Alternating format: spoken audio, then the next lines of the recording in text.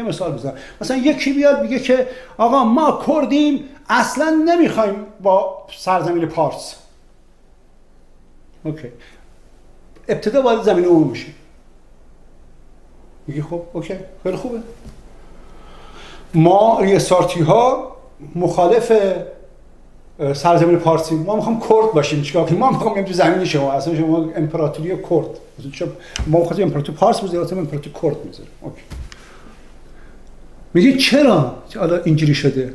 می‌تونم میگه آره برای اینکه پدر ما رو در آوردن ما رو کشتن کشتار کردن. آیا این اتفاق نیفتاده برای کردها افتاده. ابراز همدردی می‌کنه.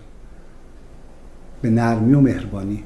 ابراز همدردی یعنی بحث بحث دوم که ابراز همدردی کنیم بله واقعا.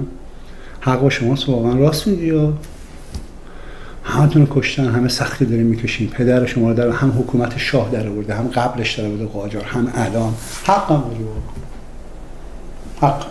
پس این ابراز همدردی میشه. نقاط مشترک پیدا می‌کنی توش.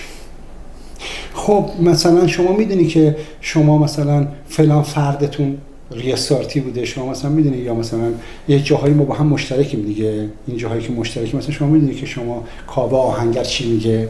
یا مثلا نوع نگاه ما هم می‌دونید چیه؟ یعنی ما با شما موافقیم. در این نقاط پیدا می‌کنیم. این نقاطی رو پیدا می‌کنیم این فصل مشترک رو یادآوری می‌کنیم براش.